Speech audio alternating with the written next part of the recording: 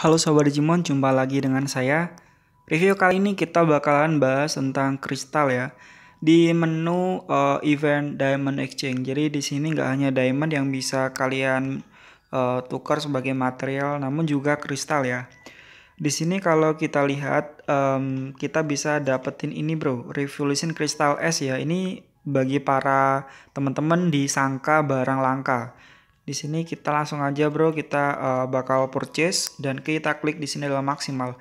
Jadi aku di sini uh, memiliki jenis kristal Revolution M. Nah, ini nanti bakal ditukar menjadi Revolution Crystal tingkat S. Jadi di sini jumlahnya aku punya kristal jenis M eh jenis yang ini ya, kristal 2 itu ada 341 nanti bakal jadi um, 3 eh 682 ya.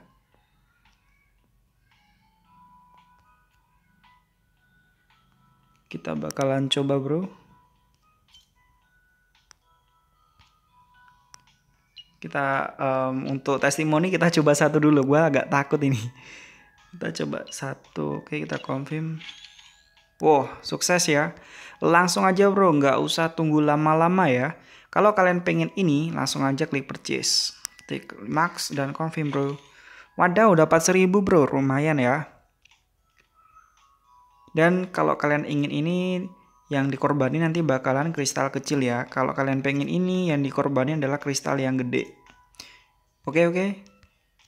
Selain itu juga ada ini bro. Um, ini butternya menggunakan diamond ya.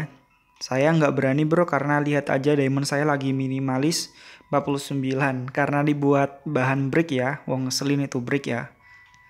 Jadi kayak gini bro. Aku mau beri kasih contoh. Coba 40 dapatnya kayak gini bro. Jadi kalian bisa ke Diamond Exchange dan ini waktunya benar-benar limited ya. Ini bakal berakhir sekitar eh, uh, 20 jam lebih 41 menit. Jadi ini cuma satu hari doang. Ayo teman-teman harus dan wajib untuk ke Diamond Exchange. Caranya adalah dengan halaman utama. Dari halaman utama silahkan kalian klik menu event di bagian atas, atas atas bro. Setelah itu kalian di sini klik uh, bagian Diamond Trade yang ada tulisannya hot bro. Ini bener-bener hot ya. Cuma satu hari bro. Sayang banget kalau kelewat. Beneran. Langsung aja bro pakai semua um, Revolution Crystal tingkat M untuk diubah ke Revolution, Crystal tingkat S. Jadi kalian yang ingin bangun uh, ultimate dari baby silahkan aja bro. Dan sangat recommended ya.